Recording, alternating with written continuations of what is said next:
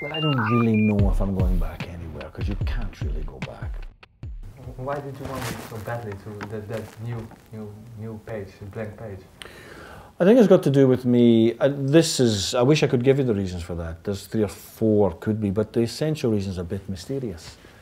I've no idea why I'm so charged, why I'm so energetic and so engaged with music just now. Because, in theory, I shouldn't be. 50, you'll be a bit tired. You've done it all. What do you care?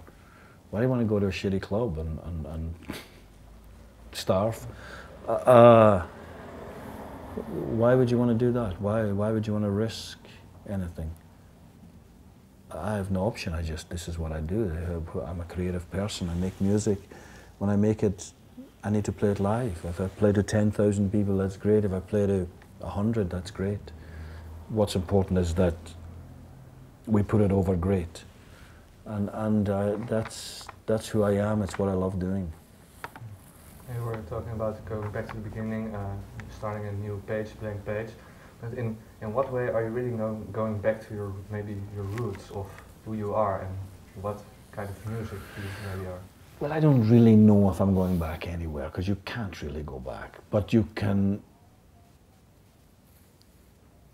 you can think on what it might be like, what it might have been like back then. And, and when the Lostboy music first started to appear, there was something in the first four or five songs that was taking, I could hear it in the music. There was an atmosphere, there was a, an approach, there was a, a conviction in it, in it that reminded me of, first of all, the music I liked in the period when I was a young man, or still a boy.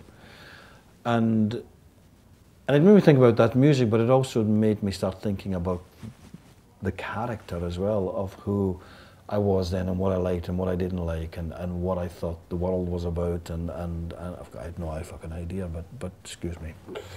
I had no uh, idea but, but I thought I had an idea. And that's what um, so Lostboy's coming out of this um, um, it's all in his head.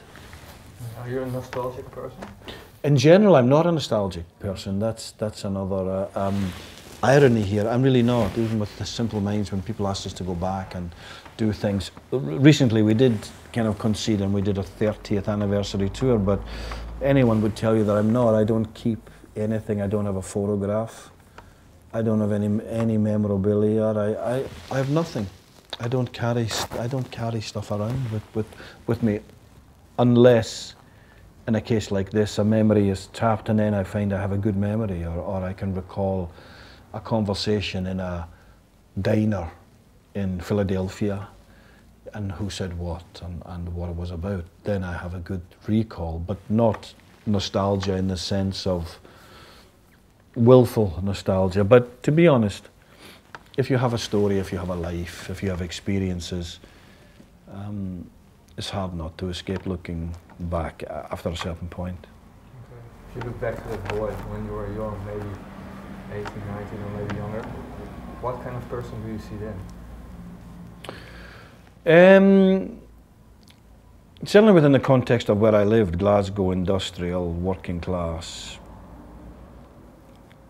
I didn't stand out and I wasn't loud, but I dressed differently, I looked different, I listened to music that no one at school, was, or very few at school was listening to. I had an appetite for on one hand, I, I, was interested in how Celtic won on Saturday, but on Saturday night I would go and see uh, some avant-garde theatrical. So I could be a corner street boy, or I could be a pretentious, uh, um, um,